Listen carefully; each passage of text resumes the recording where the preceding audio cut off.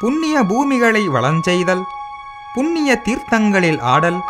புண்ணிய தலங்களில் வசித்தல் புண்ணிய மூர்த்திகளை தரிசித்தல் தோத்திரஞ்செய்தல் ஜபஞ்செய்தல் பூசை செய்தல் முதலிய சரியை கிரியைகளைச் செய்கின்ற விரதிகளும் பக்தர்களும் இருடிகளும் உணவை நீக்கி உறக்கத்தை விட்டு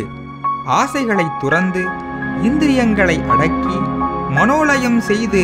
யோகத்தில் இருக்கின்ற யோகிகளும் அளவிறந்த சித்தி இன்பங்களை பெற்ற சித்தர்களும் நித்தியா நித்தியங்களை அறிந்து எல்லா பற்றுகளையும் துறந்து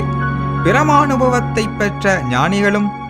ஜீவகாருண்யம் என்கிற திறவுகோலை சம்பாதித்துக் கொள்ளாதவர்கள் ஆனால் மோட்சமென்கின்ற மேல் வீட்டிற்கு முன்னும் பின்னுமாக ஏறி சமீபத்தில் காத்திருந்து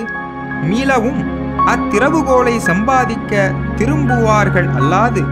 கதவை திறந்து உள்ளே புகுந்து இன்பத்தை அடைந்து வாழ மாட்டார்கள் என்று உண்மையாக அறிய வேண்டும் என ஜீவகாருண்யத்தை தெளிவுபட கூறினார் திருவருட்பிரகாச வள்ளலார்.